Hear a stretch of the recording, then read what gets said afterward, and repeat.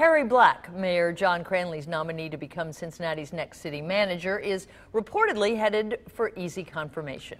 A young yet experienced numbers guy, he is the latest import to man a major helm here. Dennis Janson weighs in with his two cents worth.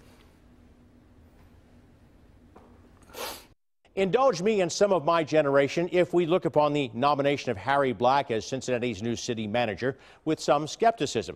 I say that only because Harry Black isn't one of us. A Baltimore native, he's served his hometown admirably, it seems, in a wide range of roles. But for most of my lifetime, the people who made Cincinnati run and presided over its operation, its police chiefs, fire chiefs, waterworks directors, and such, knew the city inside and out because they were born here. We've gotten away from that tradition to the exclusion of well qualified and dedicated locals, but probably to our overall betterment. As much as I reveled in Elder and West High serving as boot camp for chief of police, hiring Detroiter James Craig was a good move. Same for Michael Braun, a Columbus native, to head the fire division. I'm getting over my parochial devotion to one of our own always being best. Fresh eyes, fresh approach. Worth a try after generations of promoting from within. The ultimate checks and balances firewall, though, is cited by the job description on the city's website.